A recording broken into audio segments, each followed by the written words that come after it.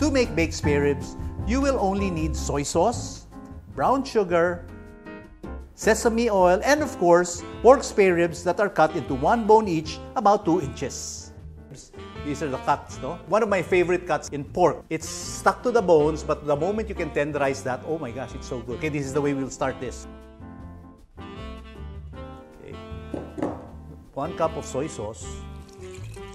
You know, a lot of people will tell me, that's it. That's it, okay? Sesame oil. And what you want to do is just mix all of these together until you dilute the sugar, okay?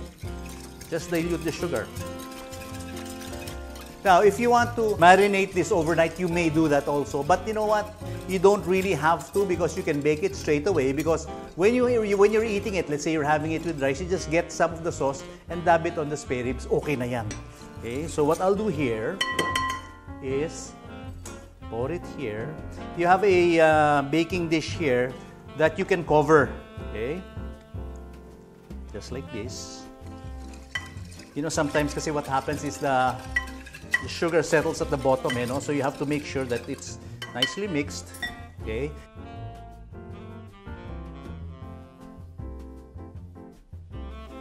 Look at that, okay? Okay, press down. Press down, make sure all those ribs are underneath the marinade. Yan lang. So what we will do is just cover this. Make sure you have a cover now. If you don't have a cover, you have a baking dish, aluminum foil is fine, okay?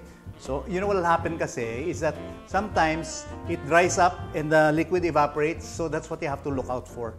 So, very good.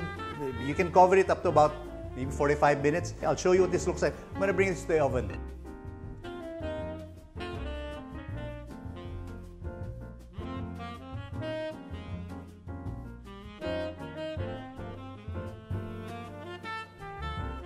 Okay, after about 45 minutes, I'm going to remove the cover of that uh, yung spare ribs.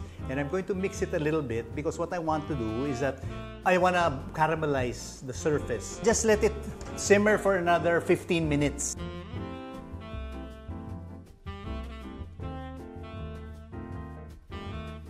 Look at this. Look, I put a little color on top. Okay, when I remove that cover, what I've done here, when I remove that cover, the surface just darkened a little bit. And you see the, the fat of the, the ribs mixed with the sugar, the sesame oil, and the soy sauce. And look at that.